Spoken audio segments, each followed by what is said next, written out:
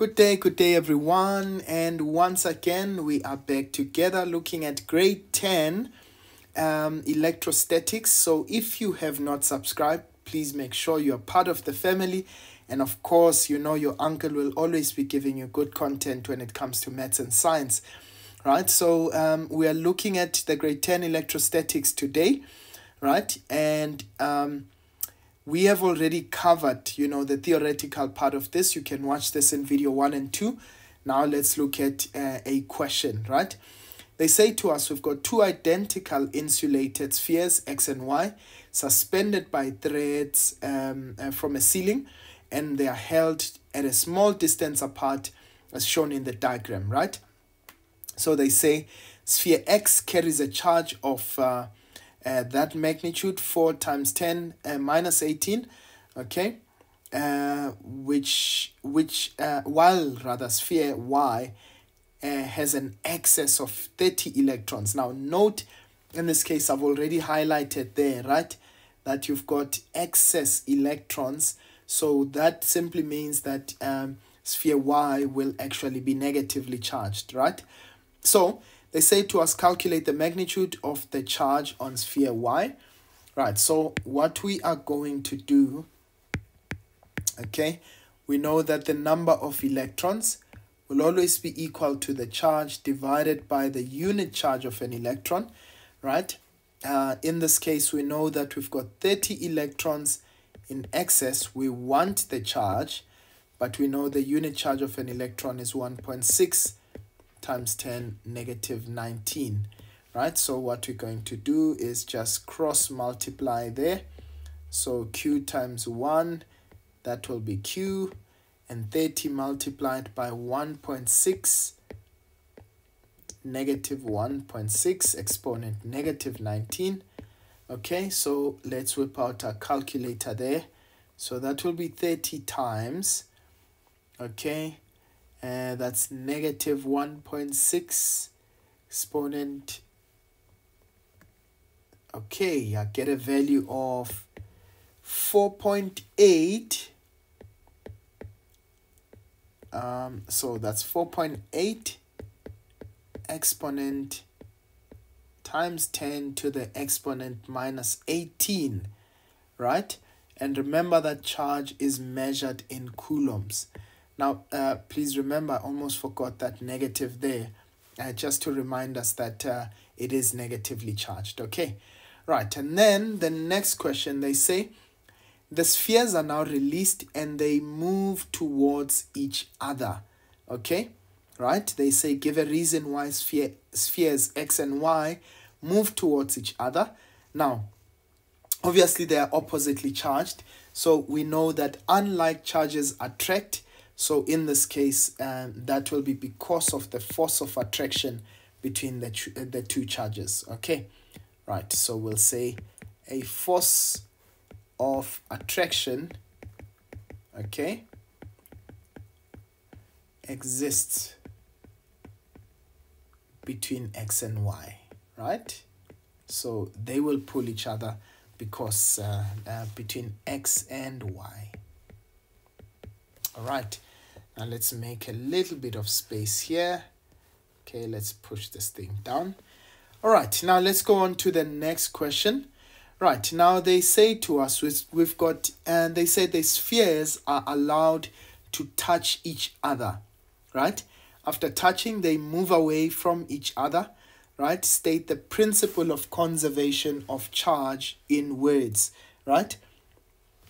So remember, uh, the principle of conservation of charge uh, simply states that the net charge in an isolated system, right, is conserved or rather stays constant uh, for any physical process, right? So we say that the net charge, okay, of an isolated system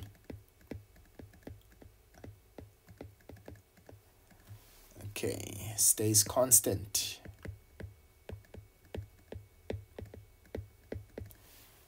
Okay, during any physical process, right? So please remember that Um, I will not be in the habit of writing these out uh, fully, uh, but in this case, given that um, you know um, we are starting out, I will do so. Uh, but just remember those uh, those definitions, okay? Right, now the next question, they say to us, calculate the charge on each sphere after they have separated. Now, remember, the moment that you cause charges to touch each other, so there's x and y, okay, so x and y touching each other, what happens? There's a transfer of electrons that will take place up until we get to that point where they will have equal charges, right? Why? Because we've got equal spheres as well, okay? So we know that X has a positive charge, okay? And we know Y, we just calculated the charge of Y. We said that's negative 4.8. Okay, right. So what will be the charge after we separate them? So it means that we'll just simply say the net charge will be the charge of X plus the charge of Y divided by 2 and so that will be 4 times 10 negative 18 plus note that y is negative so you need to put that sign there. That's divided by 2 okay right so in this case what does that give us okay you can calculate it but I'd already seen in that case that you've got both of them to the uh, um, power minus 18, right? So you can just say 4 minus 4.8, that will give you 0 0.8, isn't it? You divide that by 2, that gives you 0 0.9. Uh, but let's put it in scientific form. So we've got uh, 4 exponent negative 9, uh, 18, right?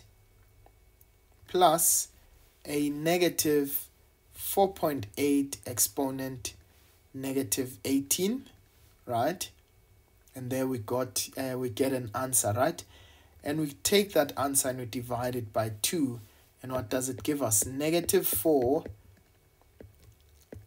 exponent minus 19 this is in coulombs okay so it means each sphere will now have a charge a negative charge for that matter so it means electrons were transferred, in this case, uh, from sphere Y uh, to sphere X, right?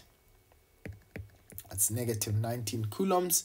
And of course, that's uh, negative 4 exponent negative 19 coulombs. Okay, so please note, it means that electrons were transferred from uh, X to Y.